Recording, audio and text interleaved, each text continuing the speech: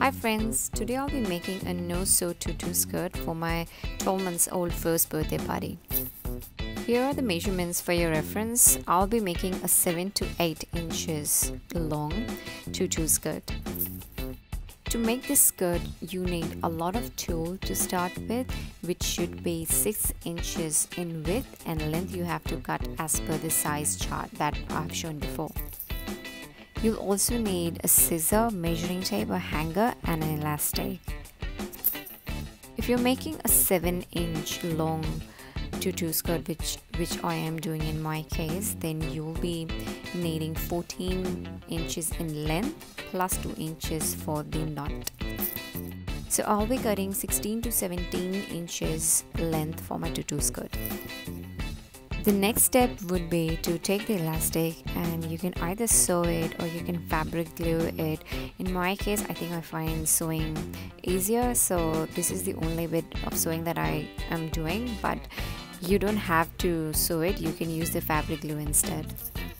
So here's my elastic band perfectly secured. Let's go to the next step.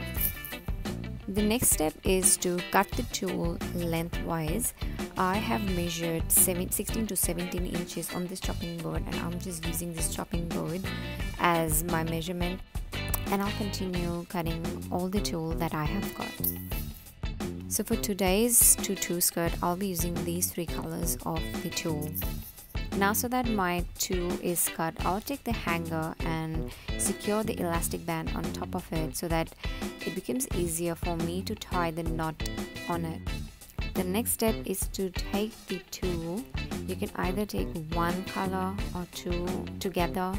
That is your choice. I'm taking two together and then i am all i'm doing here is just folding it in half now put this underneath the elastic and pull the ends through the loop that is formed and secure it to the elastic band it looks a bit difficult to start with, but trust me, it's not. Once you do it a couple of times, you'll easily get the hang of it.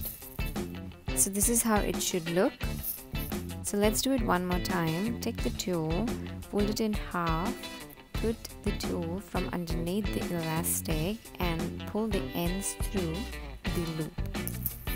And continue doing this till all the elastic is covered with the tulle.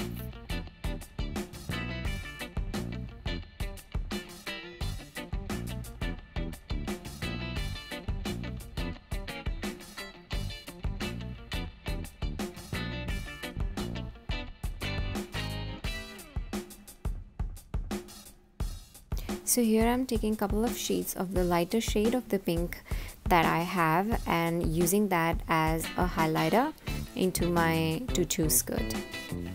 It adds a really nice highlighting effect to a boring one color tutu skirt. I have also added the sequins white color too uh, at places just to add another effect to my skirt